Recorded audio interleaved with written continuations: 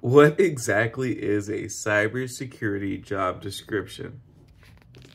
Okay, so this is very important. This is something that you have to know going into cybersecurity because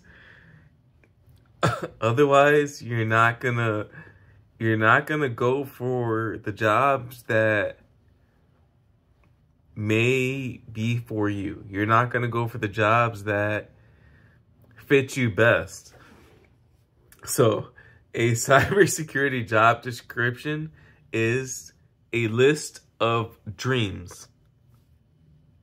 Dreams that the enterprise corporation, whatever the entity is, wants from the ideal candidate. You're not going to find the ideal candidate most times.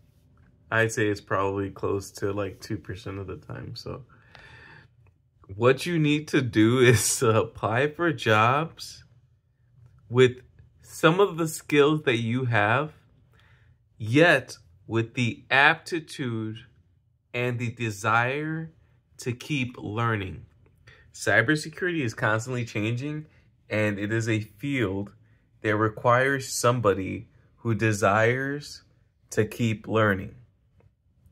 So, you have to prove in your interview that you desire to keep learning and you have to be looking at the job description holistically. You have to look at it from a perspective of the employer. What do they really want from me? Not what are they dreaming about?